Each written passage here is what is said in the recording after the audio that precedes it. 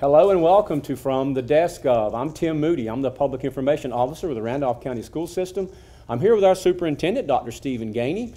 Each month we have the opportunity to head out to one of our schools and, uh, and uh, talk about the great things that are going on throughout our school district. Of course, it's summertime now. There's no school in place, but we are out here on the campus of Grays Chapel Elementary School. And, and Dr. Gainey, before we get into a lot of the things that are going on, just give you a chance to talk about this great school. Well, Tim, this is a great school, and staff is just wonderful. Uh, any classroom you go into during the school day, when you see what's going on in there, you just know kids are getting a great deal here. Um, just, just can't say enough about the teaching staff and support staff at this school.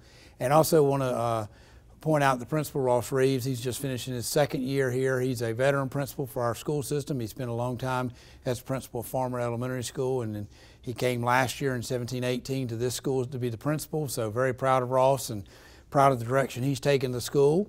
Uh, in addition to the staff, uh, it's a great community, very supportive of this school. Uh, the PTO has been very supportive of the school. In fact, uh, they just put air conditioning into the uh, gym and they, they handled that entire project, and uh, that's just a that was a great uh, added plus for this school. And just so I think we need to always make sure we're not only thinking staff, but thinking the parents and the community that support these schools, because that that goes a long way in a school's success. Is when you have a very supportive community and parent group like the PTO here. So uh, just a wonderful place for kids to come to school. It has a lot of tradition here. And I always love coming to see the school in action. As you mentioned, we're in the summertime, so the kids are all gone and the kid and teachers are gone. And but it is a fun place to be during the school year when you see the kids. They enjoy being here. They look forward to coming to this school and have a lot of pride in this school. All right. Well, today is June 19th as we are into our summer schedule. Our last day of school was June 7th, and just a couple of days ago there was a really important meeting at uh, uh, the county commissioners at the courthouse in Asheboro and uh, they unveiled the budget for uh, the new year, and I want to give you a chance to talk about that because it certainly impacts our school system. Well, we did uh, just uh, receive final word on our budget, the local budget from the county commissioners, and and Tim, you know, I, I can only say thank you to them. Uh, I enjoy working with our board of education. I enjoy working with our county commissioners. It is a lot of fun to me to uh, interact with them and see them work behind the scenes to help our kids and help our staffs throughout the school system. And, and so we had some really good news. Really good news. Uh, we did get an increase in uh, funding, $1,056,000 in current expense funding. So what that's going to do is it's going to cover our continuation cost and also allow us to raise our local supplement again this year. Coming up 1920 by 0.25%. And what's important is now that'll be three out of four school years that we've raised local supplement. So uh, very excited about that. Appreciate the commissioner's help with that. They know that's important to us. But here's the other thing it's not just important to us and our staff, it's important to them. And they've made it very clear publicly that that is one of their priorities is to continue to help us with the supplement and help our staff. So uh, we also uh, received an additional $100,000 in capital outlay funding. There's, we get a special kind of capital outlay funding that supports our nine-year facility upgrade repair plan and, and they increased that funding by $100,000. So overall, our, our total funding, capital outlay, and current expense increased by $1,156,000 the other night. And I can only say thank you uh, because uh, they, they worked hard. Uh, I love interacting with them, like I said, and I, I know the hard work they put in in the months prior to finalizing the budget. I know the support we get from our Board of Education as they're conversations are going on between elected officials and between my office and elected officials. So I just appreciate everybody's teamwork. It was just a great night all the way around. And the, the, the thing about what happens with the budget is the, the, the people who benefit the most in the end are the kids. And you have two groups of elected officials, our Board of Education and our county commissioners, that there's no doubt when you're around them and you interact with them, there's no doubt their focus is what's good for kids. And what's good for kids is, it, it, it, you know, you're talking about taking care of facilities the kids will come to school and use. You're talking about uh, thing, uh, resources that we need to support staff. So we have the, the best possible staff in the classrooms with kids. And it all comes out every year in the budget when the commissioners, they continue to step forward and continue to help us push this school system forward. And I'm just, I'm just delighted and, and just want to say a big thank you to them and um, our Board of Education for their work to get to this process as we start uh, moving towards the 1920 school year. So, Dr. Gainey, as we uh, end one school year and begin to move into another school year, which will officially begin on July the 1st, Uh, of course, uh, it's typical that we would have a number of personnel changes, and we like to use these monthly interviews to update everyone on the changes that have taken place. So, uh, give us uh, the lowdown on the changes that we've had. Well, since our last video, uh, we've had three board meetings May 20th, June 3rd, and June 17th. May 20th, we uh, did uh, move David Cross from principal at Braxton Craven School to principal at Archdale Trinity Middle School. Very excited about that. David's done a great job at Braxton Craven the last two years and excited to see what he'll do at Archdale Trinity Middle School.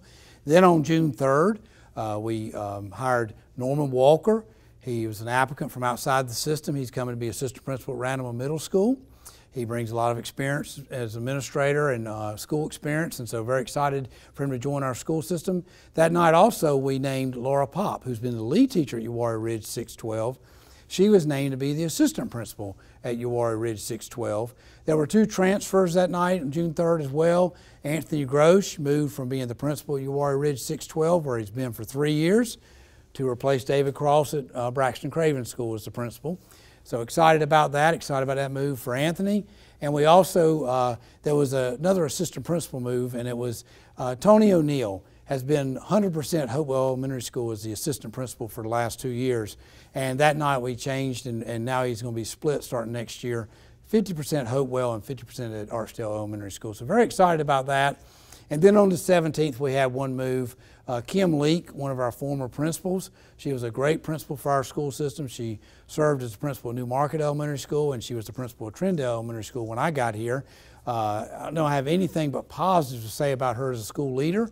She's coming back to be a 50% assistant principal at John Lawrence Elementary School next year, and I'm just excited to have her back. She was a star for our school system and very excited to see her join the John Lawrence staff with Anthony Warden, the principal, and he's excited. So it's always good when you when you have somebody that was so talented and so successful, and you get to bring them back. So uh, very excited for her to be back, and excited about all the moves that have happened uh, so far, and uh, we'll just continue to work through the summer. If as we have vacancies, we'll move quickly. Right now, the only vacancy we have is we have the Uwharrie 612 principalship that's open, and we will be um, we're, we're, working right now to hire that person, and so uh, hopefully by the next video we'll be uh, talking about who that individual is.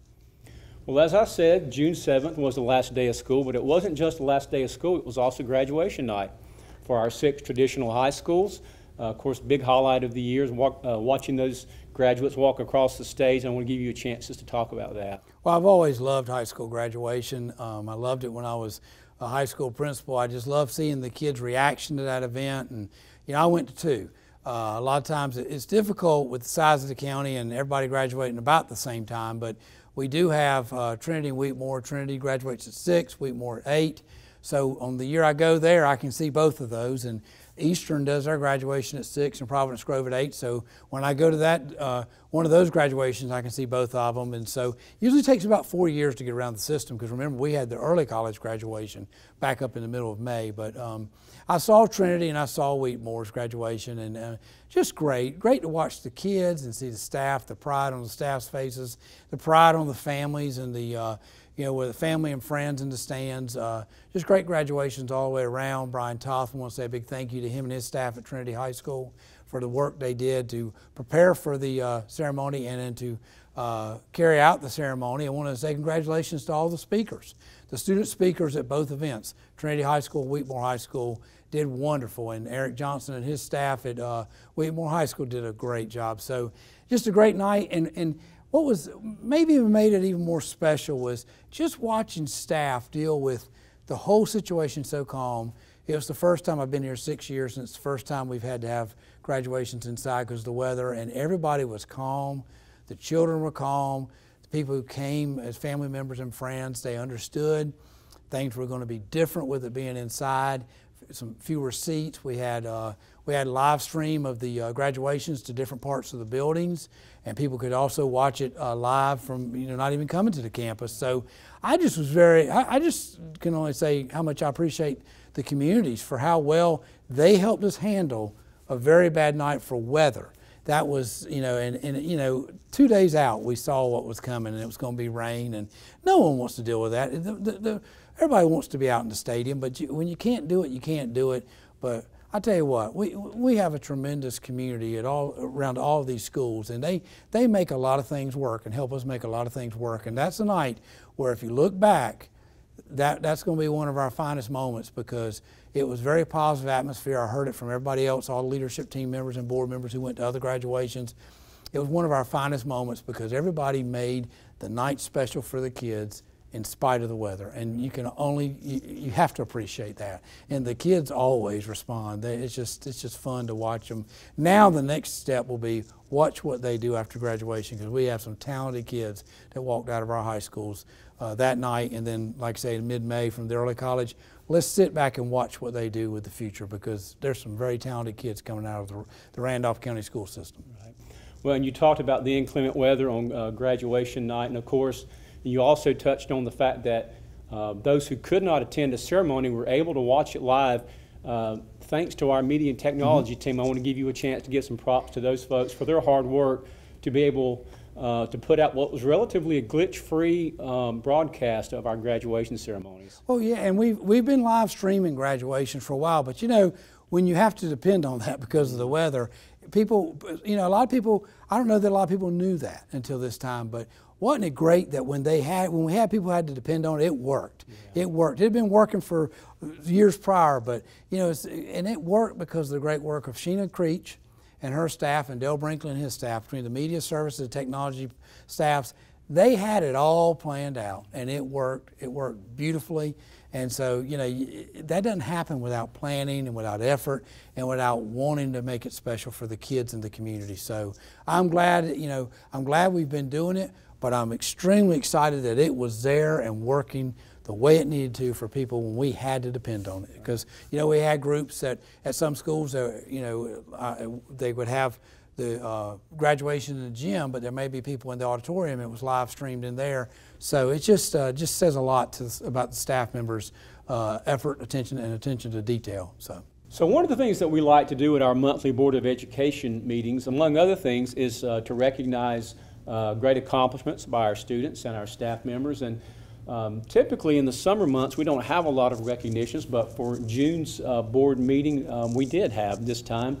And I want to give you a chance to give a shout out to those who are recognized, beginning with our outstanding elementary school math teacher. Well, uh, Christy Hutchins has just been uh, recognized for Outstanding Elementary Math Teacher Award as the recipient of that award, and, and she is wonderful. She's a fifth grade teacher at Trindale Elementary School, and um, she, you, if you go in her classroom, there's no question. No question how good she is. And uh, just great to see. You know, I, I, I wish we could do more. I wish we could do more because there's people doing great stuff all over our school system, all over this state, in classrooms for kids, and she's one of those people. Just does a great job every day. The kids benefit every day by coming in her classroom. So I just say congratulations to her and thank you for being a part of our school system because she is very important to us and she's very important to the kids that come in her classroom every day. And um, just glad to know that we have awards such as this one that can be uh, given to recognize people for their great work because she is one of the great ones. Right. And some other recognitions uh, focused on some athletes, some student athletes in our school system a Randleman High baseball team, Eastern Randolph softball team, and a couple of track athletes from those same two schools. So I'll give you a chance to talk about those. Well, Tim, I want to start with the two individuals we recognize. They, they were state runner-ups in track. Amaya Brooks from Eastern Randolph High School was state runner-up in the triple jump at state championships the other weekend. And Clayton Gentry from Randleman High School, he was the state runner-up in long jump. And just two great athletes. And I just want to say a big thank you to them for for uh, the way they represented our school system. Um, they're just obviously very talented individuals, and we continue to have athletes and students and other uh, activities go out and represent our school system in their individual schools in such a positive manner. So just congratulations to Amaya and Clayton for their great, great uh, performances and, and just wanted to know how proud we are of them. But Tim, we recognized two teams as well the other night, and uh, we recognized Eastern Randolph High School's uh, softball team. They were the state runners-up in uh, 2A softball, coached by Levette Graham. And um, we also recognized Randleman High School's baseball team, coached by Jake Smith. They were the state runner-ups in 2A baseball. And, um, you know, uh, just want to want to say thank you to those kids and those coaches for how they represented our school system and their school communities. It was a great weekend. Uh, I told the kids the other night that what, what a privilege for me they both softball and baseball played on the same college campus, University of North Carolina at Greensboro. So I actually, on Saturday of that weekend, I got to go watch Eastern Randolph High School play softball and walk across the parking lot, essentially a little bit, maybe a little bit farther than one parking lot, and sit down in the baseball stadium and watch Randleman High School play that night. And uh, just very proud of them. They did uh, finish as state runner-ups. That's a tremendous accomplishment. Uh, thinking about all the teams in the state that would have loved to have been in their shoes in that state championship. Getting to a state championship is a tremendous honor. It is a playing for a state championship is something not many kids get to do. And, and I know these kids value that experience, and, and I just want to say a big thank you to them again for how they represented our school system. I was so proud to watch them compete, and you know, the games were the games were well played, and they were you know tight games and all, and, and just great coaches guiding the kids and, and encouraging the kids, not giving up on the kids, and making great decisions, and knowing you could see the relationship between the kids and the coaches, and it was very positive. So just just a great great atmosphere of both both the softball state championship and the baseball state championship, and just want to tell the kids just make sure they know how proud our school system is of them. Another thing that we like to do at the end of each school year is really take the opportunity to thank some very special people and, and, groups and organizations. We do that in a few ways, but one of the things that we do is publish an ad in the, in the Courier Tribune recognizing all of, of the community partners, not only at uh, central office, but at all 31 of our schools. I know you want to give a, a public thank you to those groups right now? Well, Tim, I, I, love when that ad comes out. I always, I know you put a lot of work into trying to collect all that information and appreciate the principals and school staffs getting that information to you because it is important. It is important we recognize people who are helping us, and we couldn't do this without support from these from these community partners. It, and it's just a tremendous picture when that when that ad comes out and you see all the names and all the support that goes to the schools throughout the county from this school community to this school community. It's just unbelievable. And I just want to say a big thank you to the community partners because, again, we couldn't do all this without their help, you know, and, and um, it, there's so many things, you know, even, even with that ad, there's still things we probably don't capture every year. We try our best and, and um, try to get every, every single uh, group that does something or individual does something for our schools. And, and I know in my heart, there's still people out there, and, and we would never overlook them on purpose, but we do know that this is just unbelievable the amount of support we get in the school system from the community. And um, I appreciate your work on that. I think that is one of the, the most important things we do every year is say thank you back to the community in a big way. And I hope, I hope they know how much we appreciate them because it's, uh, you know, there's so many things on a school campus and in a school system that are needed to take care of kids. And, and uh, support from the community goes a long way to help us as well. So just uh, they, we need their help, and they always step up. The partners always step up. Uh, you know, it seems like every time I turn around, somebody's telling me a story about what some group has done for their school. So just very proud of our community. Well, going back to the end of the school year, or right before the end of the school year, we actually had a a really nice accomplishment by one of the cafeterias in our school system. I want to give you a chance to talk about that. Well, Tim, we did receive word the other day of a great honor for the cafeteria at Ramsboro Elementary School. They received a 100 rating for their sanitation grade. I just want to say congratulations to Tammy Cantor and her staff.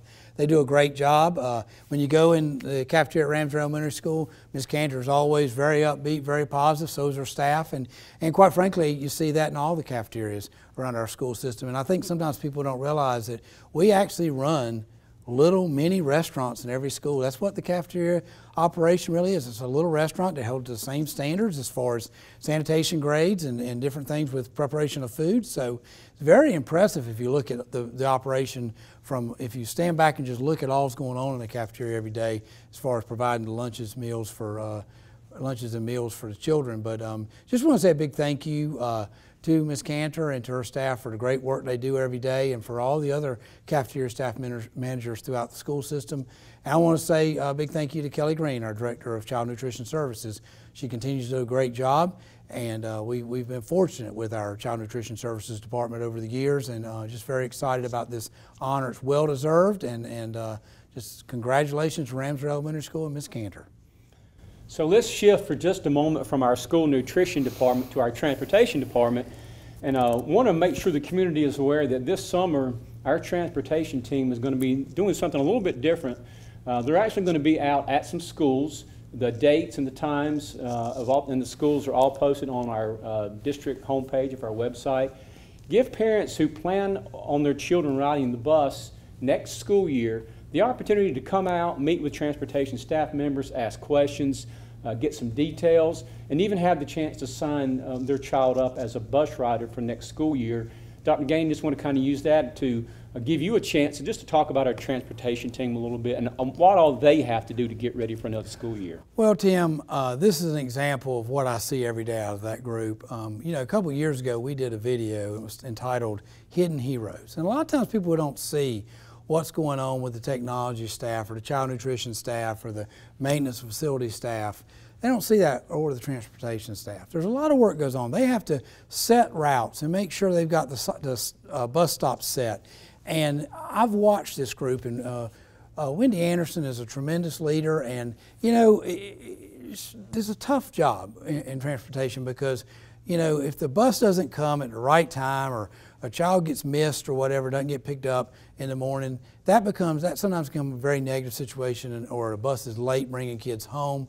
But I can tell you, I've watched the transportation department, and there is no lack of effort over there, and there's no lack of trying to take care of kids at all costs. There is no lack of effort at all. They want to they want to do what's right for kids, and this is another example of that you know, getting out trying to get as much information now as they can to set routes, set bus stops, and make the start of school for the 1920 school year as smooth as it can be. It's not going to be perfect. It's not going to be perfect with all the moving parts. It takes a while to get everybody back in routine because all of a sudden we crank back up in August and you, you have student drivers coming back to high schools, parent drivers dropping off kids, and buses. And then when you go to middle and elementary, you have parent drivers and buses. And, you know, we, we go a couple months and get out of routine. So it takes us a while. But steps like this only help the opening go smoother. So thank you to Wendy Anderson and her staff. Uh, I had a chance to go down the other day. They were having kind of an end of, end of year breakfast. And just, you know, you go in the transportation department, you see people are doing the routing, and so they're collecting all this information. You see some guys that are they're, they're the mechanics that are working on the buses, keeping them on the road. And you kind of can get blown away when you start looking, when you go in the garage and you start thinking about all that goes on in that department from the garage where they're working on the buses, maintaining them, um, to, to the planning of where the buses drive and all, and picking up kids. You can get blown away in a hurry on the massive operation that's going on down there to take care of kids. So thank you to Wendy and thank you to her staff for just another step in trying to take care of kids because this, this, is, this is the kind of thing that just really when you when you see it happening, you, you just your appreciation is really high. Level appreciation is really high because this is just one more step to try and take care of kids. So as we close out our interview for June 2019, uh, Dr. Gainey, I'll just turn it over to you to give you a chance just to, to talk about summer in, in the Randolph County school system and anything else that might be going on. Well, you know, uh, we're right now, you know, working to get ready for the 1920 school year. I think I've said before, a lot of getting ready for the next school year starts kind of in January of the current school year. So we've been looking at things as we're shutting down one school year, we're getting ready for the next. It's been a very exciting school year. It started in a very unusual fashion, you know, two hurricanes and a snowstorm before we ever got to the winter break. I, I don't know. I, I, I can remember when we got to winter break, what are we going to do about the winter? You know, we had one day that had not been used that we could use without having to make up if we miss for uh, inclement weather. I, I, you know, I'm, i usually remember numbers better than this, but I don't remember how many consecutive days we went to school from when we came back from winter break in January to March 29, I think was that first teacher work day. But I've never seen anything like that either. What, what the kids and the staff and the parents did to make that work from January to that first work day at the end of March was unbelievable. I, I, know people got tired. I know the kids got tired, staff got tired, parents got tired. Everybody was tired, and I heard nobody complaining. I think you know everybody knew the situation that we had been through a very rough fall semester, and I think everybody respected we had to get school back in routine, and we had to have a long run like that. And I'm just I just can't say anything but thank you to to uh, staff, students, and parents for making the the 18 19 school year work the way they did because it was a great year. And yes, when you wind up uh, with two hurricanes early in the year and then a snowstorm before you get to the winter break, it makes you scratch your head about how the rest of the year is going to play out. But it played out well for this school system. It's because those three groups stepped up and made it work. And um, that's what happens in our school system. You know, those three groups, staff, students, and parents, are always uh, interacting and making things work in the Randolph County school system. And just can't say enough about the, members of those groups because we appreciate them and, and uh, more than they realize. And, and their role is, is so positive and so, so important to our school system success, probably even more than, than they realize at times because they're just doing what they, what they know to do be great kids, be great staff members, be great parents supporting the school system. So thank you to, thank you to all three groups. And thank you, Dr. Gainey, and thank you to Principal Ross Reeves and his great staff here at Grays Chapel Elementary School.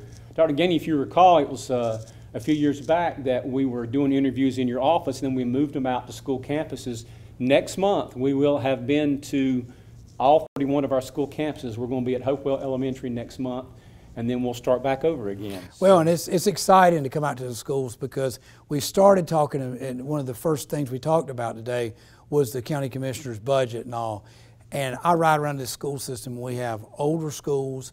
Uh, this school has been here a long time. We have some newer schools. You know, a lot of different different ages on the schools, but all of our facilities look great, and that's because there's a long history of commissioners and board of education members insisting on our facilities being in great shape. And so, uh, you know, when I ride up and I come to Grays Chapel and I think about how old this school is, and I look at how the condition it is, and you know the maintenance and facility staff has stepped in for years and taken care of these schools, but we had to have the resources to do it, and those two groups of elected officials have always made it a priority, and it's exciting. So, so it's great to be able to showcase these schools with these videos. All right, well, thank you again, Dr. Gainey. Thank you to the community members for allowing us to visit with you. Thank you to Randolph Communications, and we look forward to seeing you again in July.